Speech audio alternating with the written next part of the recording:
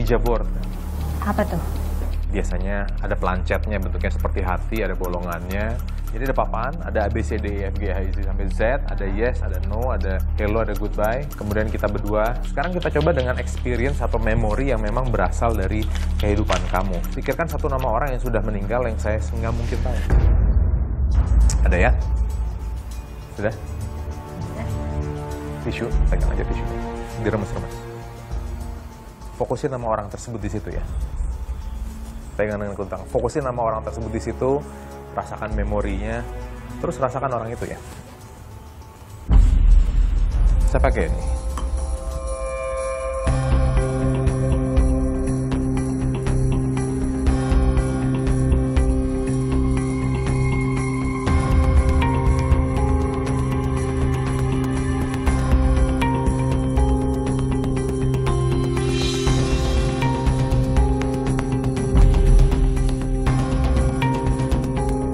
Tapi agar tidak terpengaruh,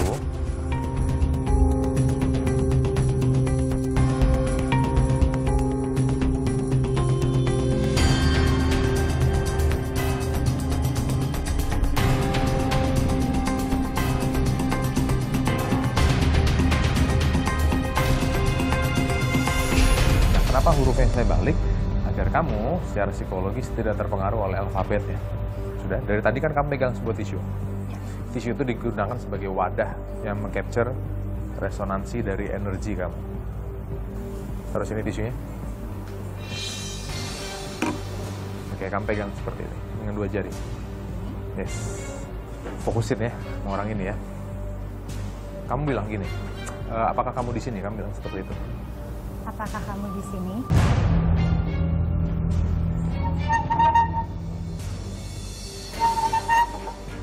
Apakah kamu wanita?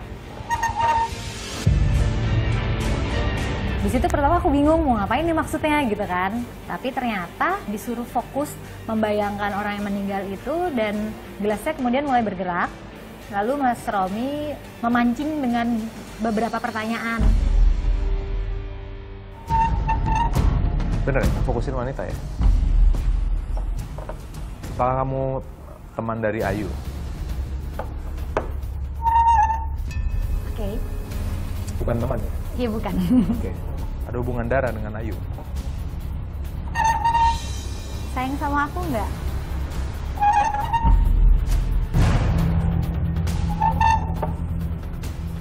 Sekarang fokus namanya Ayu.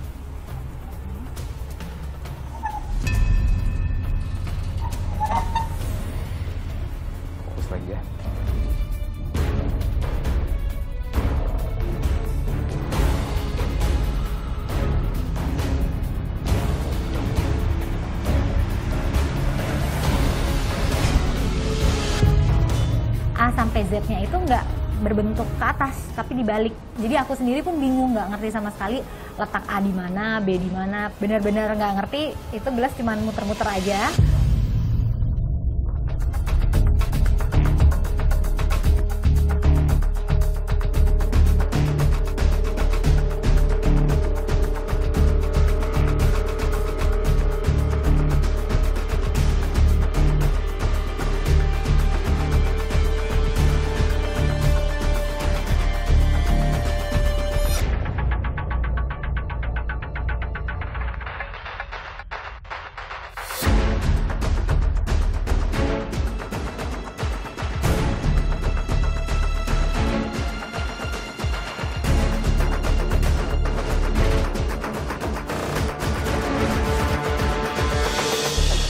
Siapa sih yang kamu fokusin?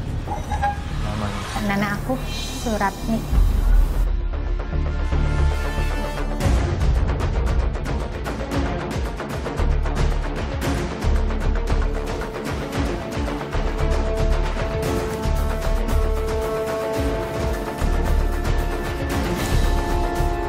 Betul. Wow, bener. Ketika disebutin, beneran loh abjadnya bisa dikeluarin semua dengan lengkap dan benar. Sering dongengin kamu waktu kecil. Iya. Ini Bobo. Dan ini orang yang muncul di pikiran kamu. Wow. Kok bisa tahu? bagaimana Ayu Pratiwi dapat memisahkan antara yang hidup dengan yang mati, dan bagaimana saya dapat menebak nama orang yang dipikirkan oleh Ayu Pratiwi. Sebetulnya Ayu Pratiwi tidak berkomunikasi dengan spirit atau roh apa pun juga. Agar eksperimen tadi dapat berhasil, pertama-tama saya harus melakukan eksperimen yang sederhana terlebih dahulu. Itu kenapa di awal dengan menggunakan foto-foto tadi, saya meningkatkan intuisi dari Ayu Pratiwi. Setelah Ayu Pratiwi mempercayai cerita saya mengenai foto-foto itu, saya dapat dengan mudah memanfaatkan imajinasinya. Dengan ini, Ayu Pratiwi dapat menunjukkan kepada saya siapa sebetulnya yang dipikirkannya. Jadi, di saat saya menggerakkan gelas tadi, yang saya lakukan adalah saya merasakan resistensi dan dorongan ke huruf mana saya harus menggerakkan gelas tersebut. Itu kenapa eksperimen tadi dapat berhasil. Oke, Ayu, terima kasih sudah bereksperimen di lintas imaji. Iya, sama-sama. Ini buat kamu. Oke. Untuk Anda menyaksikan eksperimen ini, sebetulnya apa pun yang kita percayai, apa pun yang kita yakini, jika kita pegang cukup lama, pikiran dan tubuh kita dapat memberikannya pada kita. Untuk itu, berhati-hatilah dengan apa yang Anda percayai. Tetap menyaksikan Lintas Imaji.